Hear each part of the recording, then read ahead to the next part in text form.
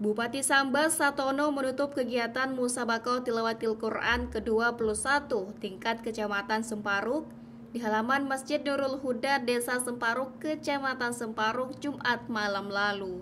Juara umum dalam kegiatan MTQ Kecamatan Semparuk ke-21 ini diraih Desa Singaraya. Juara kedua Desa Semparuk, juara ketiga Desa Seburing, juara keempat Desa Sepinggan dan juara kelima dari Desa Sepadu.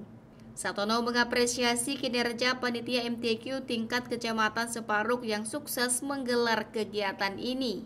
Momentum keagamaan merupakan salah satu visi misi Sambas berkemajuan yaitu beriman dalam rangka meningkatkan karakter generasi yang beriman dan berakhlakul karimah.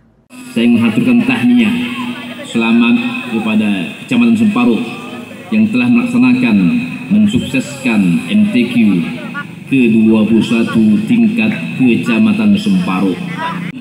Mensukseskan visi misi dengan program unggulan. Visi misi Sambas berkemajuan kalau tidak dibantu oleh semua komponen termasuk Bapak Ibu yang hadir pada malam hari ini. Momentum strategis kegiatan keislaman seperti ajang MTQ merupakan kegiatan yang luar biasa dalam rangka meningkatkan karakter masyarakat menjual karakter yang beriman, karakter yang berakhlakul karimah dalam rangka membentuk generasi-generasi Qurani ke depan. Dalam laporan yang disampaikan Ketua Pelaksana FPND, kegiatan MTQ ke-21 Kecamatan Separuk mengalami kekurangan dana. Untuk itu, Pemda Sambas bersama pimpinan OPD yang hadir memberikan bantuan dengan jumlah 10 juta yang diserahkan langsung kepada Ketua Pelaksana. CSM TV madahkannya.